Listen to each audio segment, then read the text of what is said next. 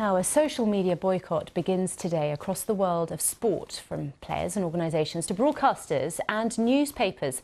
It's hoped that the protest will pressure on the likes of Facebook, Instagram, and Twitter to do more to stop the abuse and punishment that happens online. Now, I'm joined now by uh, Dr. Ahmed. He's a lecturer in digital business at the Newcastle University Business School in England and specialises in social media and sport. Thank you very much for joining me today.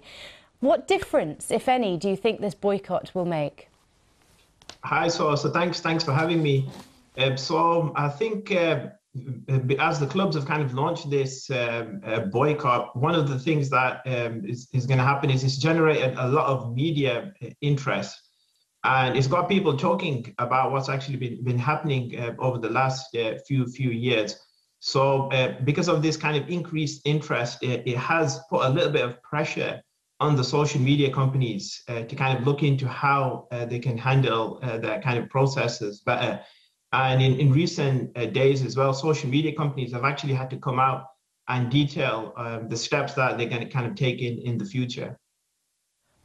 But the thing is, uh, you know, many of the footballers are, you know, they're very valuable individuals and they're very valuable to companies who, you know, who use them as, um, as iconic figures in their marketing. I wonder whether there is a danger that some of the people involved in this will end up effectively biting the hand that feeds them. Yep. Uh, so that that is a, a, good point, but it can also work work the other way as, as well. So if you look at some of the most followed um, users on the likes of Twitter, for instance, a, a lot of those are uh, kind of uh, sports athletes, in particular. Uh, soccer or, or, football players actually rank uh, within the, the kind of most active users on the platform, generating a lot of activity for these social media companies. And then if they're deciding to kind of boycott um, the, the, platforms in, in the short term, uh, it might have a little bit of effect. But if they keep uh, kind of doing these types of, of boycotts, it might re reduce the overall activity on, on the platforms themselves. Now, the footballer Marcus Rashford's campaigns against things like child poverty and hunger, they were very much sustained by active social media use. I mean, do boycotts like this actually undermine social media as a force for good? and a force for change.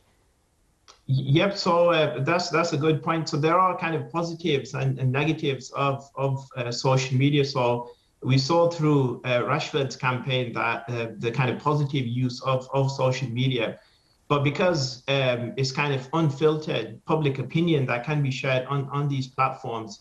I do think there needs to be better systems in place for kind of filtering and, and blocking out uh, spam we do a lot of research looking at the kind of tweets and, and social media posts received by athletes. And we do find that they are kind of receiving a lot of uh, abuse and, and, and so forth that could potentially be, be filtered out. OK, we're going to have to leave it there for the moment. It's going to be interesting to see whether or not this works. Dr. Ahmed, thank you very much for your time today. Fine, no worries. Thank you.